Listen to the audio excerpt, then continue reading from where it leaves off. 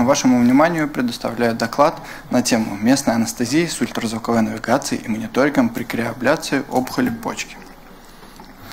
Ну, безусловно, наверное, необходимо начать с истоков, на что впервые, в принципе, такую методику применил японский э, доктор Юшида. В 1995 году он выполнил э, черезкожную криоабляцию опухоли почки, но, к сожалению, по эндо, под эндотрахеальным наркозом.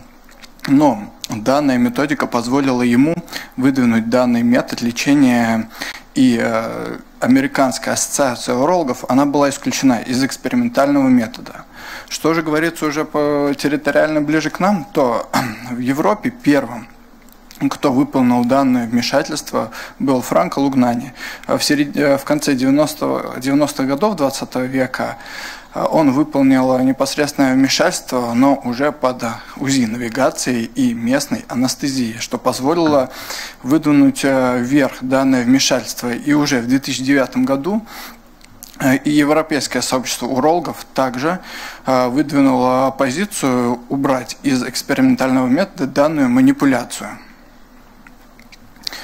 первую очередь хотелось бы сказать непосредственно о показаниях к данной манипуляции, потому что это достаточно ограниченная когорта пациентов, э, которым позволено выполнение данных воздействий. В первую очередь мы говорим о наличии достаточно отягощенной сопутствующей патологии у пациентов, которые недопустимы к оперативному вмешательству при данной патологии, такие как э, сердечно-сосудистые изменения, такие как единственная почка э, и более отягощенные осложнения. Следующим показанием является это локализация самой опухоли. Очень э, э, приятным и предрасполагающим расположением опухоли это является задняя и задняя латеральная поверхность в нижнем или среднем сегменте, непосредственно без инвазии в почечный синус.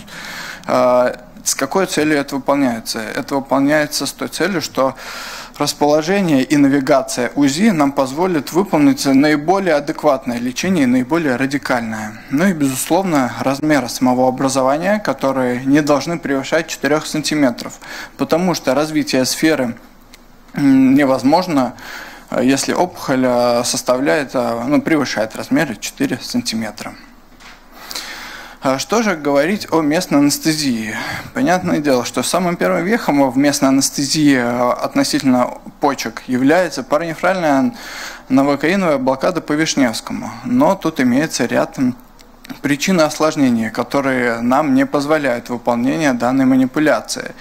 А что же она может при себе ну, за собой вести? Непосредственно Э, это возможная пункция вены или артерии почечной. Также при достаточно больших объемах введения раствора мы можем наблюдать признаки интоксикации в виде изменения артериального давления, пульса, угнетения возбуждения нервной системы, коллапса, остановки сердца и судорог.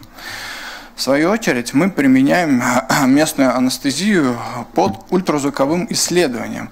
А с какой целью мы выполняем данное вмешательство именно под ультразвуковым исследованием? Это позволяет нам непосредственно оценивает структуру тканей, что в последующем а, не нарушит нашу визуализацию а, с данным методом навигации. А, объем непосредственного анестетика составляет 2 мг на миллилитр. В суммарном объеме со смешаемыми, со смешаемыми препаратами 40 миллилитров. Непосредственно первым этапом выполняется анестезия кожных покровов с последующим формированием Э, лимонной корки и последующим введением и сменой иглы на более длинную послойным введением анестетика. Безусловно, на картинке номер два мы видим введение иглы, э, что собой позволяет полноценную, адекватную визуализацию и не мешает нам а, адекватно оценивать опухолевое образование и э, формирование в дальнейшем сферы. На этом слайде непосредственно представлена картина. Э, первая картинка оценивается само образование, ее объем до начала сеанса криоабляция. На втором же слайде, картинке, представлено э, опухолевое образование уже после формирования сферы, которая э, покрывает полностью само образование и затрагивает участки здоровой ткани. Это делается с целью радикальности выполнения оперативного вмешательства. Э, данная методика выполняется в два этапа. Первый этап у нас выполняется э, в течение 12 минут в среднем. Следующий этап после пассивного оттаивания выполняется у нас в течение 7 минут, что позволяет нам выполнять вмешательство радикально, без последующих рецидивных образований. Э, безусловно, хотелось бы высказать свое мнение о наших результатах, о пациентах, на которых выполнялось данное вмешательство в нашем центре. В данном исследовании участвовало 9 пациентов, 6 из них это были мужчины, Три из них это были женщины. Размеры образования, как ранее было сказано, не превышали 4 см и стадийно регламентировались по ТНМ как Т1А. Средний возраст пациента составил 52,9 года. Эта граница была от 40 до 86 лет. Непосредственно локализация опухоли с правой стороны составляла 5%, с левой стороны 4%. У трех из э, больных была единственная почка с достаточно большими и обширными вмешательствами до нашего воздействия. А с целью оценки была взята система Клавин-Диндо, которая не превышала более одной степени тяжести послеоперационных осложнений.